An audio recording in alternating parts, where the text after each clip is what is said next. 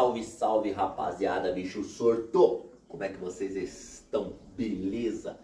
Galera, é o seguinte, antes de eu começar com o vídeo, antes de eu entrar no assunto, o que que acontece? Galera, eu tive que tirar o meu proto daqui, né? Eu tirei o meu proto.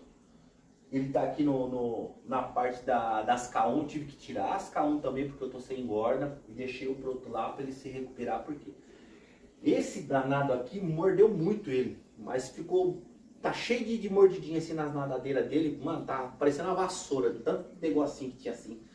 Aí eu tirei ele, de, tô deixando ele ali, até ele se recuperar totalmente, depois eu volto pra cá. Como o aquário ele tá vazio, galera, então assim, é, esse bicho ele pega alguém pra Cristo e começa a, a zoar, entendeu? Por isso que eu volto a falar, por isso que eu gosto muito é, do sistema de lotação. No jumbo, cara, no jumbo, cara galera, é, é, o sistema de lotação, cara, ele ajuda muito a acabar com agressividade, territorialismo, todas essas paradas ajuda demais, cara. Tá? Ajuda demais. Quem tem um sistema de lotação, cara, vive top, vive da hora, mano. É um probleminho ou outro porque não tem jeito, né? Os bichos é carnívoro, então tá. Sempre dá um pipininho aqui, outro ali, mas consegue se resolver. Menos do que um aquário desse tamanho com pouco peixe. Entendeu? Então ele estava judiando muito do Proto. Ele ia para cima do Proto e o Proto saía com a boca aberta atrás e tal, entendeu? Esses dois aqui, ó, que nem eu falei, de, de, de... Esse, de vez em quando, coisa que não sai de novo. Os bichos saem querendo morder o outro. Não tem dente, esses bichos então ficam um apunhanhando o outro, mano. Você é louco. E eu não sei se esse bicho aqui tá querendo formar casal com a pirarara, cara. Já falei isso pra vocês. Não sei, mano. Que ela, ele só fica perto da pirarara. E quando o Raifim fica passando perto, ó aqui, ela tá parada ali. Aí o Raifim vai dar uma cutucada na, no, no bagre. O, bagre, o, o Catfish já sai a milhão atrás dele, mano. Você é louco, mano. Aí fica os dois nessa, nessa parada aí. Mas enfim, então tá isso aí. Preciso colocar mais peixe aqui. Precisa entrar mais peixe aqui, galera, pra o negócio ficar top. Porque, falar pra você, eu fico o cabelo em pé que eu não tenho. e galera, então, o Proto tá ali embaixo se recuperando. E acredito que eu coloquei ali, só que eu tinha deixado uma frestinha. Mano, uma frestinha assim, velho. Desse tamanhozinho. Três dedos de fresta eu deixei ali em cima, no vão. Eu falei, mano, o bicho é dessa grossura, da grossura da minha perna pronto. Ele não vai sair dali, né? Galera céu, o primeiro dia que eu coloquei ele ali, o bicho não saiu dali, mano. Fui achar ele atrás do sofá, mano. Só que tava cheio de, de marca daquela gosma do, do, do, muco do peixe, né? Porque o peixe que eles são pulmonados, na verdade todos os peixes, né? Ele tem um muco, né? E esse muco desses peixes que são pulmonados aí, eles conseguem respirar o ar normal, tal, né? Só que se aquele muco secar, o peixe também vai embora, ele não aguenta ficar muito tempo. Enquanto ele tiver aquele muco no corpo, aquele negócio gosmento, é o que faz ele não, não ressecar e não morrer totalmente, né? Entendeu? Tava cheio de marca aqui, assim, mano, ele deu uma rolê aqui em casa aqui, mano. Rapaz, eu tive que lavar tudinho isso aqui. aí eu fui encontrar ele atrás do sofá, galera. Vou colocar o vídeo pra vocês verem aí agora. Dá um liga no vídeo aí. Olha só, tô mostrando aí a parte do Samp, onde ele tá. Já não tinha mais ninguém, né? Aí olha o danado onde tá aí, no chão. Esse negócio preto, parecendo um tronco de árvore. Ai, caramba. Viu aí, galera? Mano, você é louco. Você é louco. O negócio é. Foi assustador. É porque eu cheguei aqui que eu olhei aquele negócio lá, rapaz, até trabalho pra catar ele, porque eu queria filmar e queria catar, nem deu pra filmar eu colocando ele lá no, no, no Samp de novo, né? Mas é isso aí. Galera, o assunto que eu queria falar com vocês hoje, posso dizer que é a parte 2. Teve um vídeo que eu, recentemente, que eu postei pra vocês, falando sobre alimentação, né? Que tá top daquela forma. Só que tem uma galera me perguntando como eu faço com os meus peixes aqui. Eles têm perguntado muito a maneira como eu alimento de fato, né, galera? Então, assim, o que eu vou falar para vocês não é uma regra a ser seguida, porque cada aquarista, cada jumbista, né, tem a sua forma, né, de estar tá alimentando seus peixes, tá? Então você conhece os seus peixes, conhece o tamanho do teu aquário, tal, então você tem o seu método de alimentação. Beleza? Show de bola. Se da forma que você está fazendo está dando certo, cara, continua. Que nem eu gosto de falar, contra fatos não há argumento. Então, se tá dando certo para você, continua. Se tá dando certo para mim, continua. Eu sou dessa forma, tá? Porque o pessoal pergunta aqui, como que eu faço alimentação? Galera, alimentação aqui, pelo fato dos meus peixes ser muito grande, muito grande, de fato eles são muito grandes mesmo, esses peixes aqui, tá? Então, assim, por ele ser muito grande, eu tenho que alimentar uma grande quantidade de, de alimento. Ou seja, quando eu vou ofertar para eles o filé ou a manjuba, eu tenho que dar em grande quantidade, tipo um quilo de manjuba. É nessa pegada aí. Então é bastante comida que eu jogo aí dentro, tá? Hoje, como eu tô com pouco peixe, hoje eu tô dando um quilo. Mas se eu tivesse com aquela galera que tinha aí, se entrar mais peixe, eu vou ter que aumentar, entendeu? A quantidade de, de, de, de, de alimentação para eles, tá? Porém, o que, que acontece? Os peixes vão cagar demais, vai mijar demais, ou seja, vai ficar uma bagaceira aqui dentro.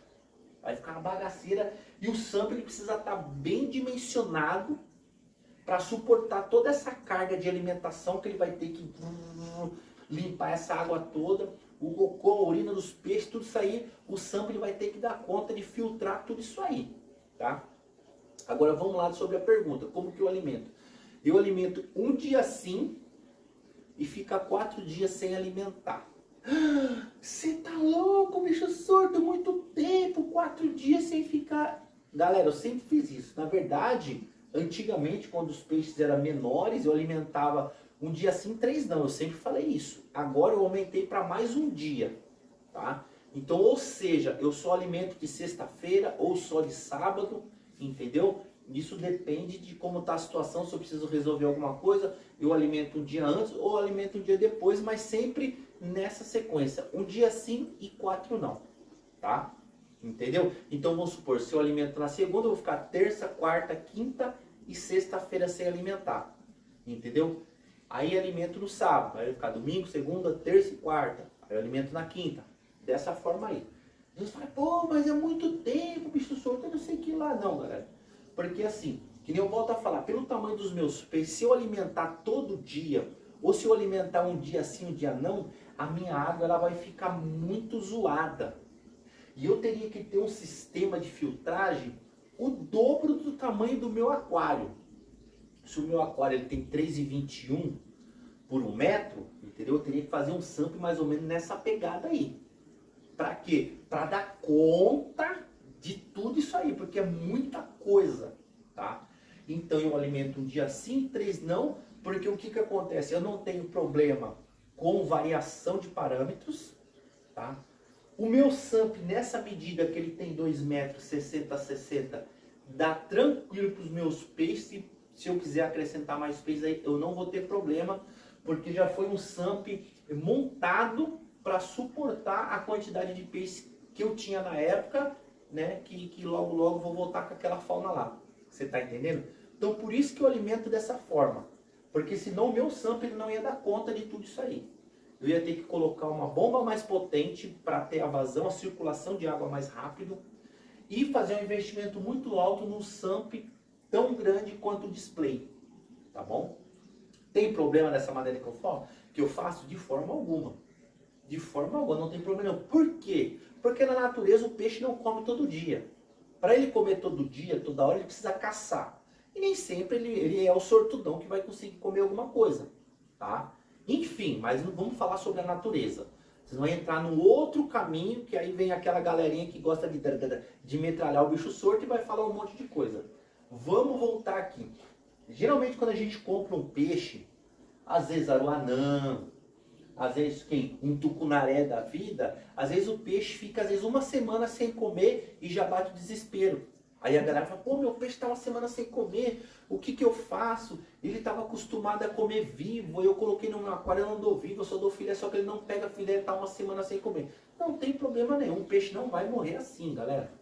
Não vai morrer. Eu já tive peixe que ficou 20, 25 dias sem comer e não morreu. E não morreu. Você está entendendo? hora que a fome bater de vez no bicho, aí ele vai comer. Eu tive uma aruanã, a banana mesmo, já ficou umas duas vezes sem comer. Ela chegou a bater 18 dias sem comer. Eu já estava desesperado, porque eu falei, mano, não posso perder esse bicho. entendeu? Mas aí a hora que a fome bateu, ela foi lá e comeu.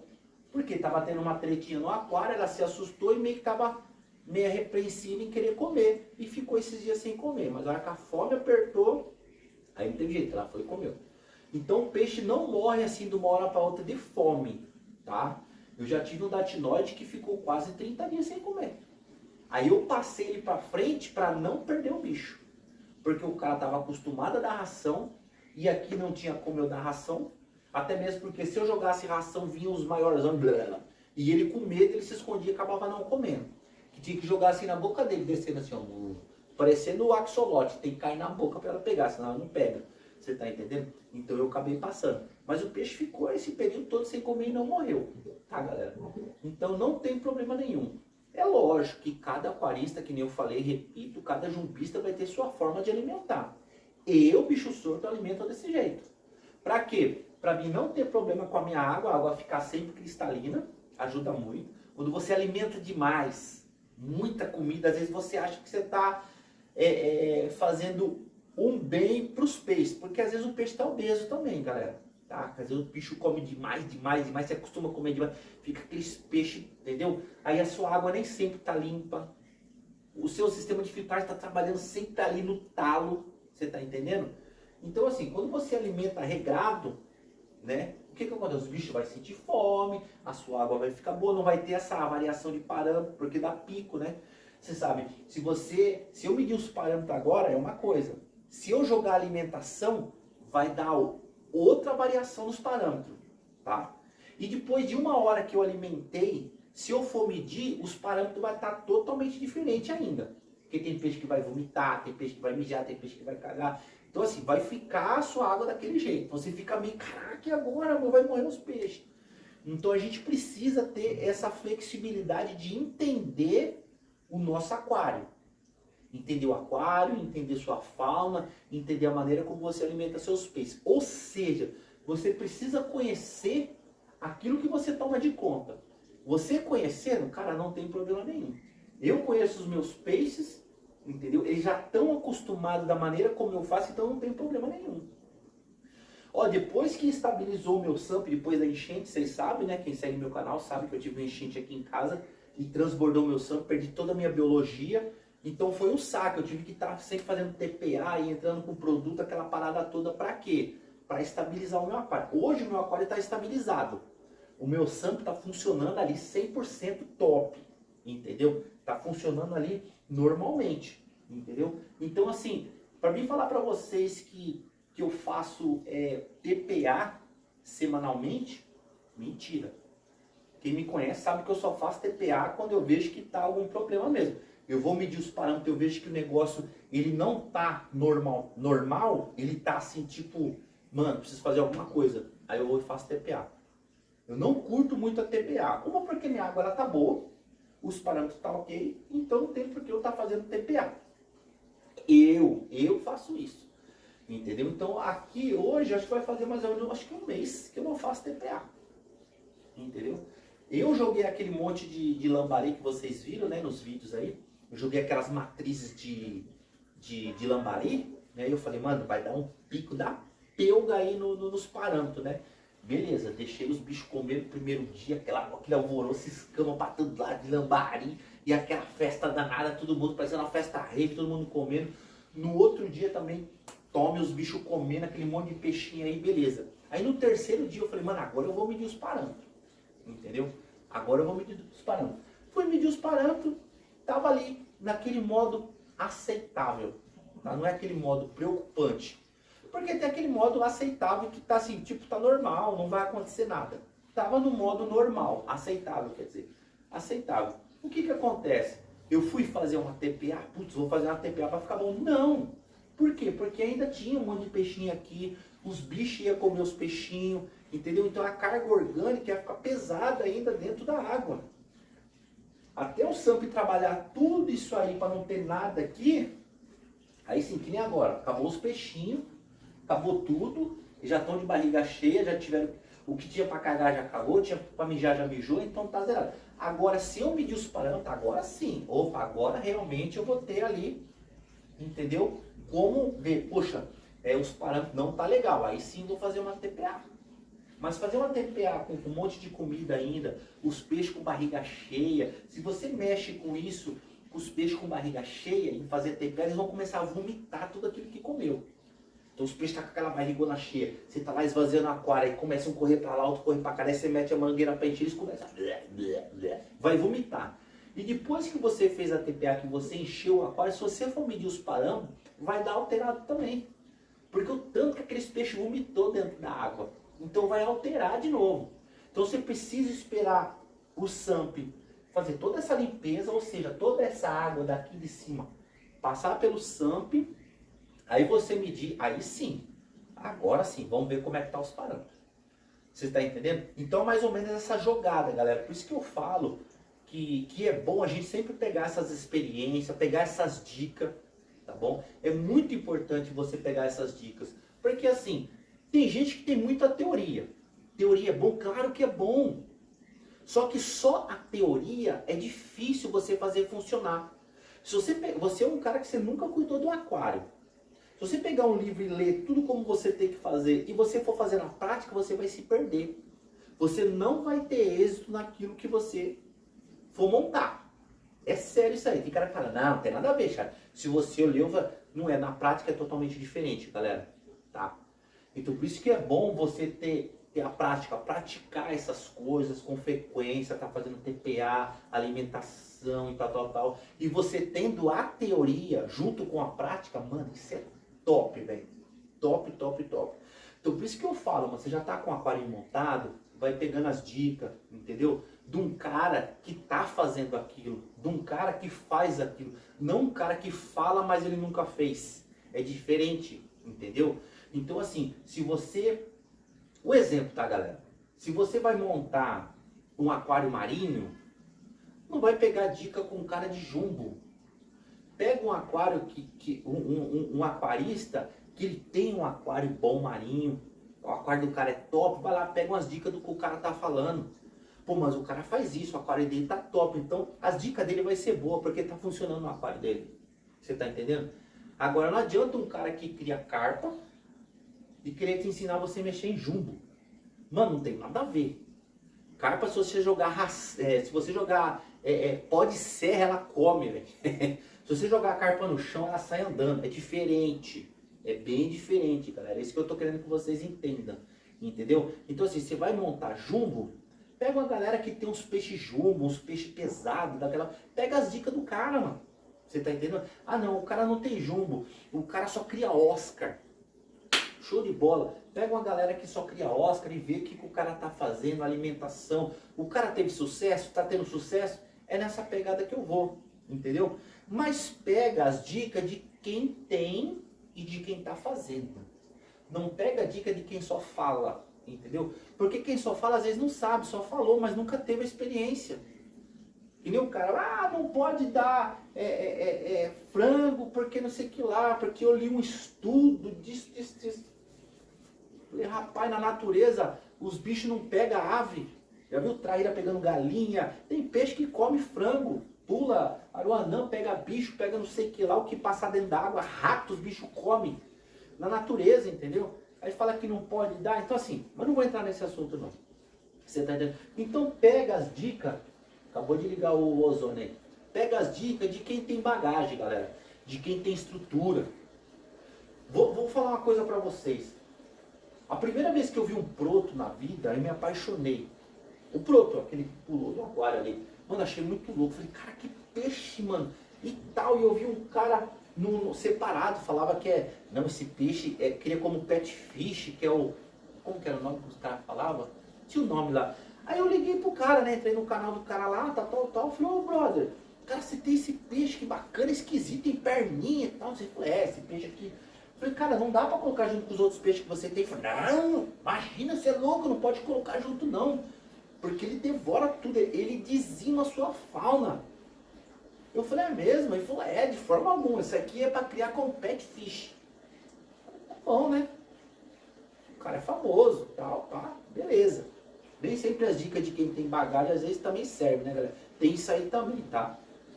E o cara, né, é famoso tal. Aí cheguei no outro, mesma, era novatão, né?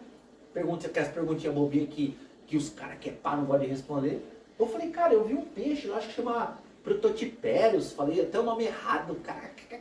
Falei, não, mas isso aí não pode colocar no aquário não, não se põe tal, não sei o que lá. Eu falei, putz, falei, caramba, mano, eu, eu queria um dele no aquário, mano, que é tal, não sei o que lá, e fiquei coçando a cabeça. Aí eu vi no aquário de um brother. Do brother não, de um cara que eu tava vendo um monte de canal no YouTube lá procurando, procurando. Aí eu vi um cara com pronto dentro. Falei, puta, esse cara aí. Mano, aí fui lá com muito custo, consegui o contato do cara. Falei, irmão, é o seguinte, que peixe é esse que você tá aí, tá pendurado perto da folha aí e tal? Assim, ah, isso aqui é um proto, protopteros e tal. Eu falei, caraca, mano, ele tá junto com os outros peixes. Falou, tá. Por quê? Eu falei, não, porque os caras falaram que não dá, é, que não tem como dar problema. O cara falou, meu, tá de boa aqui. Eu falei, quanto tempo você tem, mano? Já faz um ano. Eu falei, putz, esse cara. Esse cara foi, meu, o que, que você fez? Eu não fiz nada, eu dou comida pra eles e normal. Não peixe agressivo. Entendeu? Falei, caramba, meu, sei o que lá. Falei, não, vou pegar um proto. Aí fui, peguei um proto, coloquei no aquário. Fiquei tempão quando era um aquário pequeno que eu tinha ali. Já peguei logo uns 50 centímetros. Aí o bicho sorto, como é loucão, falei, quero mais um.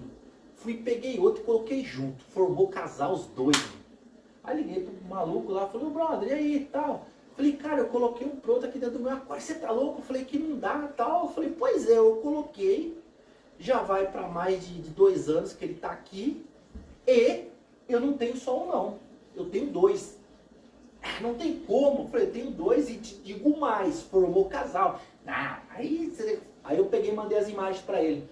Tava cheio de ovo de, de broto aqui, lotado, lotado o aquário, mano. Se vocês pegar, quem tá chegando agora no canal, se vocês pegar o vídeo antigo, lá no comecinho, chamava Mania de Peixe Junto, vocês vão ver a desova dos brotos que eu tive lá.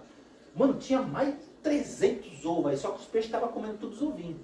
E desovou acho que foi umas três vezes dentro do aquário. Só que eu era inexperiente ainda, não tinha, não sabia o que fazer.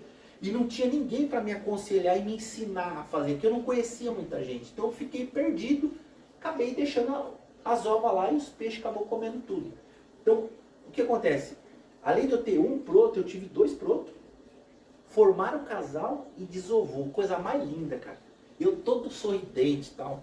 Mas não sabia como fazer fecundar, toda aquela parada toda. Acabou que os peixes comeu tudo, tá? Então o que, que eu falo pra vocês, galera? Vai pegar parâmetro, troca ideia com os caras que tem bagagem, os caras que é firmeza, entendeu? Que vai, que vai elevar o seu potencial, vai te ajudar você crescer, mano. Porque assim, se você quer montar um aquário jumbo, você já tem dentro da sua cabeça que você quer o jumbo. Por mais que o cara fale que não dá certo, você vai tentar. Porque você quer, não tem jeito. Eu sou assim. Eu falei, não, eu quero, eu tenho que ter, eu tenho que testar aqui para ver. Eu preciso ter ali, ó. Não, tem que dar certo. Se dá certo pros gringos, os gringos faz cada montagem louca que você me imagina. Que nem recentemente eu vi um vídeo com um cara com um dourado no meio do, do coletivo, mano, um dourado. Eu nunca tinha visto um dourado se dar bem. O dele tava. Falei, mano, se o cara deu certo com o dourado, pai também vai ter um. Tô na captura do dourado. Não é um peixe caro, só que eu preciso pegar um peixe grande. E vou meter aqui dentro também, galera era surpresa que eu ia falar, entendeu? Vamos meter o douradão aqui, vamos ver o que vai dar. Ah, mas o peixe dourado é um peixe bravo. Quem que não é bravo aqui? Quem que não é bravo aqui? Você tá entendendo? Vai ser mais um. Beleza, galera? Então o vídeo de hoje era isso, era para falar de alimentação, falei de um monte de coisa. Beleza, galera? Então conheça o teu aquário, seja feliz e se tiver dúvida, procura alguém que tenha bagagem para te falar. É nóis!